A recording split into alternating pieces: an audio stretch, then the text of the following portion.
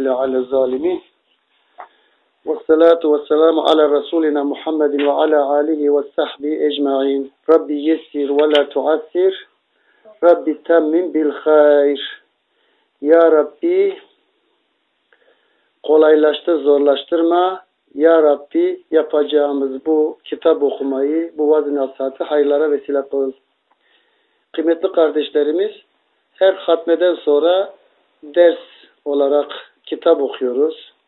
Normalde perşembe günleri istişare şeyimiz. İnşallah eğer şey olursa biraz şey yaptıktan sonra önemli konularımıza şey yaparız. Bugünkü kitabımızın ismi Hal Dili. Yani öyle demişler. Tasavvuf nedir? Kale, kile yani kale, kile demek dediler, demişler, diyecekler. Kale, kile değil, haldir. Yani hal ne demek? Yaşamaktır. Onun için biz biraz önce kitabımızda bunu şey yapmıştık. Ders olarak öncüler şey yapmış.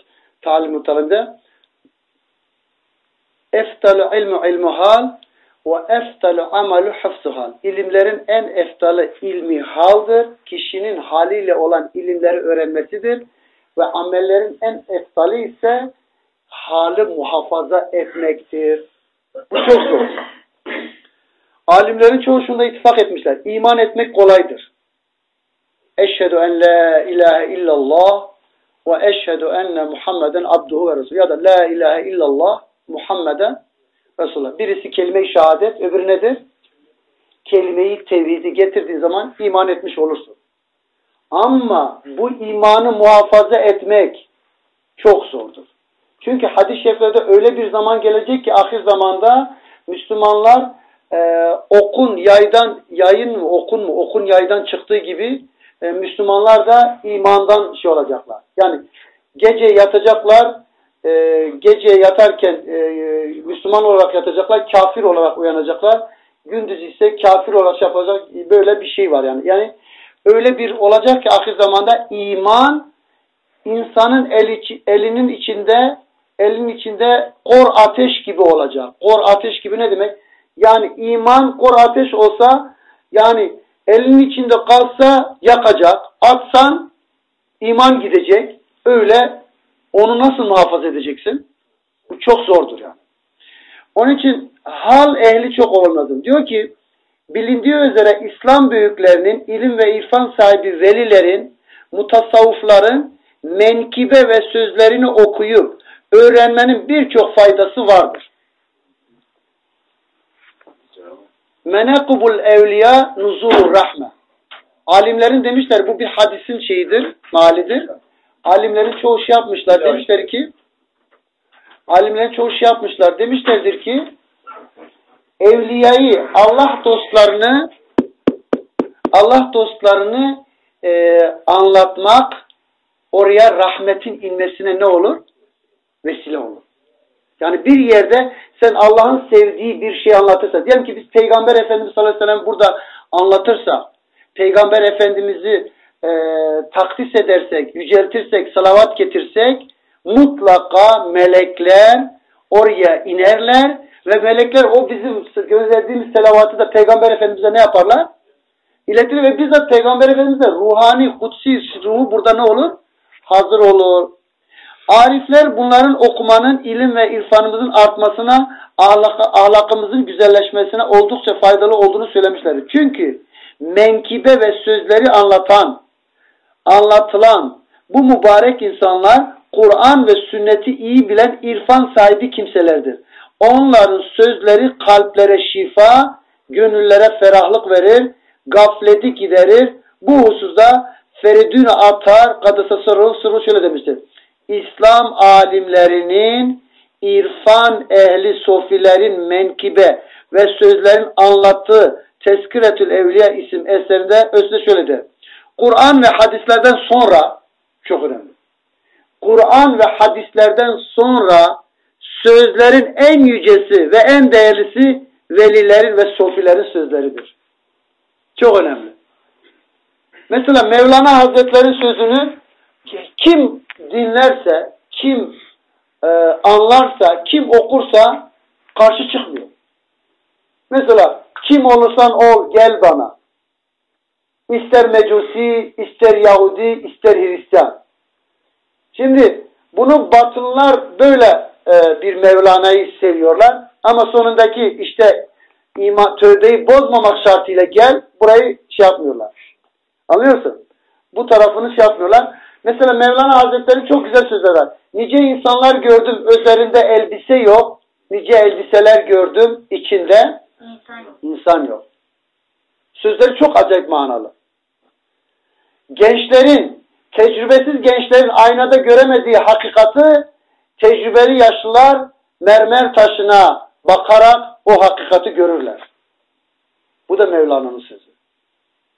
Çok şeydir yani. Onun için Yunus Emre de bu konuda güzel sözleri vardı. Nedir? Bu yol uzundur, menzili çoktur. Ha nedir? Bu yol uzundur, menzili çoktur, canım menzili çoktur. Allah.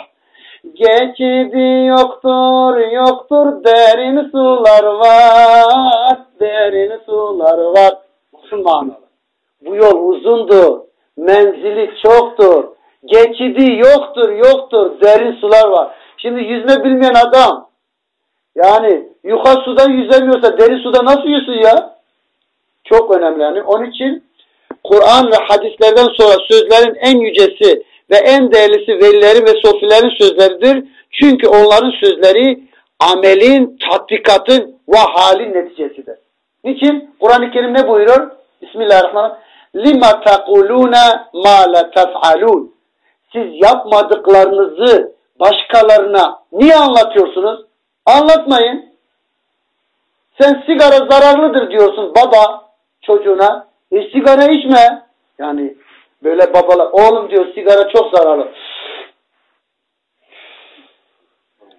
Mehmet Yarbay'ın bir güzel sözü var. Diyor ki ben iki şeyi anlayamadım diyor.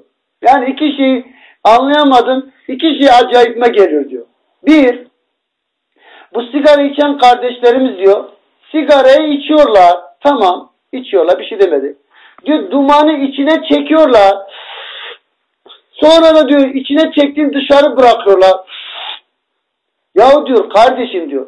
Eğer bu içine çekmek faydalıysa içinde kalsın. Niye dışarı çıkarıyorsun? Eğer zararlıysa niye içine çekiyorsun? Bunu diyor şey yapamadım diyor. Bir türlü bunu anlamadım.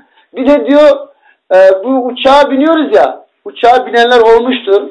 Uçağa bindiği zaman uçak kalktığı zaman e, uçakta kalktığı zaman böyle alkış yapıyor herkes. Uçak indiği zaman da alkış yapıyorlar. Mehmet Yarba diyor ki ya siz kime alkış ediyor, alkış ediyorsunuz? Yani uçağı pilot mu kaldırıyor? Yani pilot mu böyle senin böyle gelip de kuvvetle yani şey yaparak şey yapıyor yani? Bir, yani Allahu Teala havada bir sinekle, bir affedersin bir şeyle onun içerisi yapar. Bütün her şey helak olur diyor. Diyor ki o anda diyor uçağı kaldıran da Allah'tır, indiren Allah'tır. Allah'a hamd etmemiz gerekirken, Allah'a şükretmemizden alkış, alkış Yahudi adetidir. Peygamberimiz Kur'an'ı hadisi anlatırken alkış yaparlardı. Böyle parmak tıklama, çıtlama da böyle bu e, cemaatler arasında bu da mekruhtur. Yahudi adetidir. Parmakları çıtlatmak böyle. Bunlar İslami şeyler, adetler değildir. Niye? Dikkatli o sohbeti, o şeyi Peygamberimiz okuduğu Kur'an'ı şey yapsın diye. Yani Peygamberimiz Kur'an'ı okurken ikra, bismillah. Ona böyle öyle alkışlıyorlar ki Kur'an'ın sesi kimseye ne olsun? Gitmesin diye. Onun için e, cemaat arasında köpek oturuşu oturmak fakir kitaplarında hara mekruh demişler. Köpek oturuşu nasıl? Ha. Otur bakın köpek. Böyle. Bu köpek oturuşu. Ondan sonra alkış Yahudi adeti. Ondan sonra parmak çıtlatmak Yahudi adeti. İslam'da bunlar mekruh görülmüştür. Yani bazı şeyleri bilmiyorsak ne yapmamız gerekir? Öğrenmemiz gerekir, anlatmamız gerekir. Şimdi e, bunu okuduktan sonra diyor ki ilim. Bu kitabın başına ilim aldı. İlim. Neymiş? Tasavvuf yolunun büyüklerinden İmam Rabbani kadısı şöyledir. Şeriat üç temel üzerine kurulmuştur. Birincisi ilim, ikincisi amel, üçüncüsü ihlastır. tasavvuf ve tarikat ilim ve amelden sonra ihlas nasıl kazanılır? Şeriatın bu ihlas bölümünü ne yaptı? Kazanmayı hedef oldu. Zira senin amellerinde riya ve gösteriş varsa, senin ilminde de faydalı bir ilim yoksa, rütbe, para, makam için yapmışsan, o ilmin, o amelin sana bir faydası yoktur. O zaman ihlası kazanmaktır. İhsanı kazanmaktır. İhlas ve ihsan nedir? Sen Rabbini görmüyorsan Rabbin seni görüyormuş gibi ibadet etmektir. Devam ediyor burada. Diyor ki İmam-ı Şarani, Abdullah abi Şarani diyor di, diyor ki şöyle böyle dini bilgiden yoksun olduğu halde Sofi kisvesinin altında bazı tasavvuf kavramlarının yerli yersiz söz edip etrafına cahilleri toplayan kimselerden bahsediyor ve başında geçen bir olayı şöyle anlatıyor. Bazı tasavvufa girmiş, sofi kisvesi altında böyle çok sohbet eden insanlar görürsün. Bunların şeriat ilimleri yok diyor. Temel altyapıları yoktur yani. İlim bilmiyorlar. Birkaç kitaptan biz diyor biz, biz, biz burada hızlı bağırıyoruz. Bizim sesimiz bir şey olmuyor. Şöyle, bu sesi kesiyor, az konuşuyor. Ondan sonra şey olmuyor. Bizim ses tonumuz böyle. Ayar. Yani şey böyle. E, ne diyorlar? E, şey böyle. He, seviyesi böyle bu. Şey, şey yapamadılar. Ben yine de şey yapmam. Diyor ki bazı sofiler bazı sofiler ilimsiz ilim, İslami ilimleri bilmeden, fıkıh ilmini bilmeden, tevhid ilmini bilmeden bazı tasavvuf kitaplarında ezberlikleri okudukları diyor ki ne diyorlar? Diyor ki etrafında kendisine inanan bir cemaatle birlikte bilgisi ve nasibi olmadığı halde tasavvuftaki fena ve baka mertebelerinden çokça bahseder, bahseder, bahseden bir kişi yanıma geldi. Diyor, o kadar güzel sohbet ediyor ki manevi şeylerden anlatıyor, seyrisülükten bahsediyor. Fena billah, baka billah, da işte nefsi emare, nefsi levame, nefsi mülhüme, nefsi mutmaine öyle bir anlatıyor ki dersin ki ya bu derya. Bak diyor, birisi diyor rastladım diyor özüne. Bekan mertebeden çokça bahseden bir kişi yanıma geldi. Günlerce benimle kaldı. Bir gün bu kişiye, bu gün bu kişiye dedim ki bana abdesti ve namazın şartlarını söyle. Bunlar nelerdir dedim. Adam ne dedi biliyor musun? Ben hiç ilim okumadım diye cevap verdi. Ben bunları bilmiyorum. Samimiyetle söyleyeyim. Bu cemaatin içerisinde başka bir cemaatin içerisinde aynı soruyu da ben birkaç kişiye sordum. Namazın farzını bana sayamadı. 32 farzı sayamadılar. Ne demek istediğimi anlıyorsun değil mi? Sadece yani e, bana abdesti ve namazın şartlarını söyle bunlar nelerdi dedim. Bana hiç ilim okumadın diye cevap okumadım dedi. Adama dedim ki kardeş ibadetleri Kur'an ve sünnete göre usulünce yapmak bütün İslam alimleri tarafından icma ile kabul edilen bir farz bir bir farz bir emirdir. Farz ile mendubu, haram ile mekruhu birbirinden ayıramayan kimse cahildir. Cahil kimseyi ise ne zahir meselelerde ne de batın yolunda uymak kesinlikle caiz değildir. Kitapta yazıyor ha. Kafadan atmıyorum. Yani kafadan atmıyor dedim yani böyle yanında anlatırken kitaba dayanarak anlatıyorum. Diyor ki adamın ad, adamın adeta adeta dili tutuldu. Onu söylerken nefsine ağır geldi. Yani sen kardeşim yani ilmin yoksa yani alim değilsen talebe ol. Talebe değilsen dinleyici ol. Dinleyici değilsen sevenlerden ol. Ne talebesin, ne dinliyorsun, ne seviyorsun, sen neysin? Yani sen grup, sen kimsin? yani burada bir şey var yani. Diyor ki adamın adeta dili tutuldu, cevap veremedi. O günden sonra benimle ilişkisini kesti. Böyle çok var. Çok var. Bu yanlış tutumuyla etrafa kötü örnek oluyordu. Böylece Allahu Teala beni ondan korudu.